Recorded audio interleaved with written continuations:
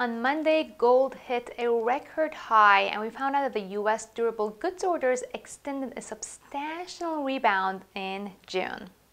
Welcome to the Tickmill Update. I'm Kiana Danial, the founder of the Invest Diva movement. Make sure to subscribe to the Tickmill YouTube channel and support us by liking and sharing this video with your forex trading friends.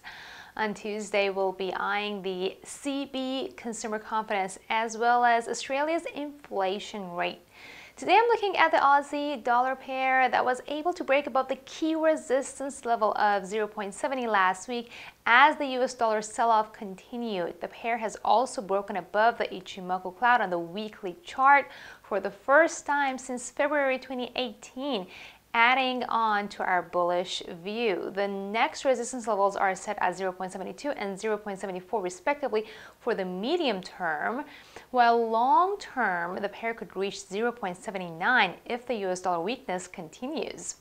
Do you think the Aussie is headed towards brighter days? Head over to the comment section and let me know. Of course, trading in the financial markets involves a risk of loss and you should only trade the money that you can afford to lose. If you like this video, give it a thumbs up and subscribe to the Tickmill YouTube channel. I'll get back to you with more updates tomorrow.